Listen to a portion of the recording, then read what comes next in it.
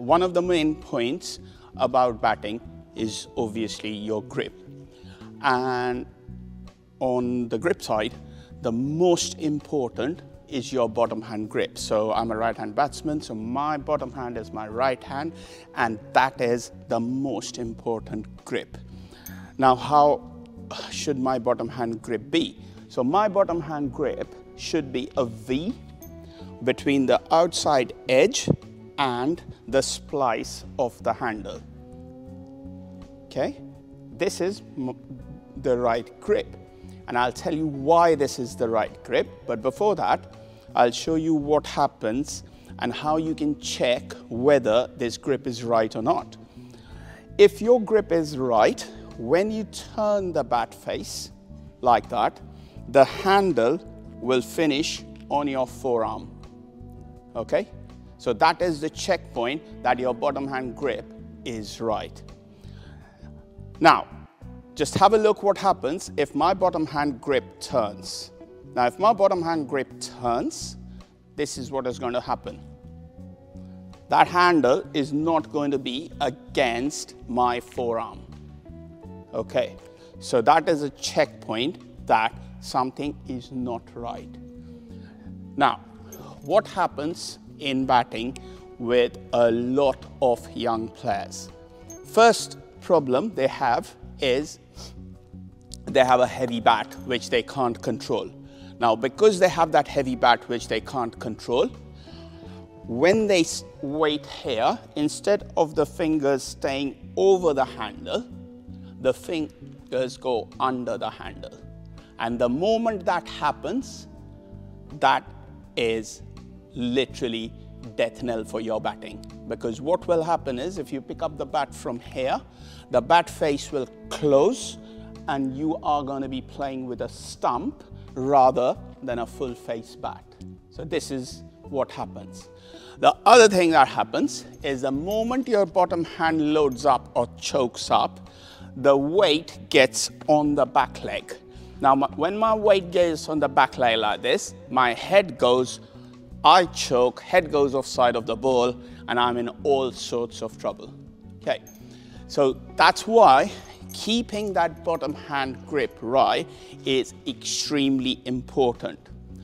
Now I'll show you something more that happens if your bottom hand grip is right.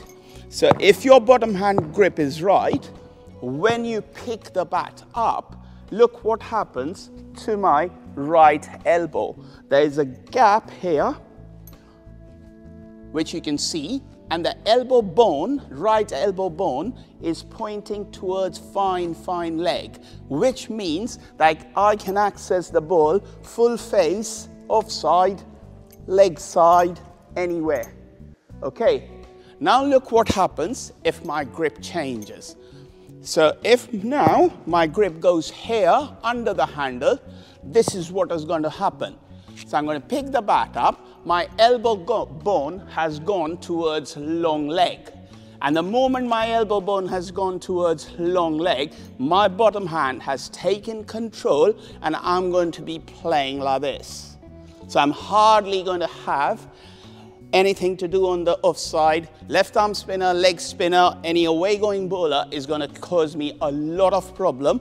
And my only uh, what do you call release is going to be mid wicket long on, which you see in a lot of young players. They can't drive the ball. They can't play mid off, extra cover mid on because their grip is not right. So this is one of the main things about batting which a young player needs to get right.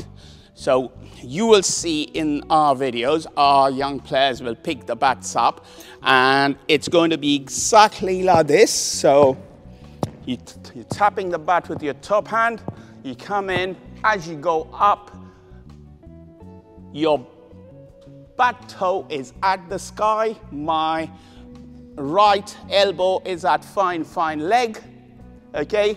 And if I'm going forward, I've got a good, decent heel contact in my front foot. Okay. So this is where I want to be. This is the position from where I can defend I can attack, I can be balanced, and I can have a solid base as well as generate power when I need to. At the same time, if I have to go soft, I can do that. If I have to place the ball, I can do that. That's a really good position to get into, but unless my bottom hand grip is right, I cannot do that. So it's really important to get this bottom hand grip right.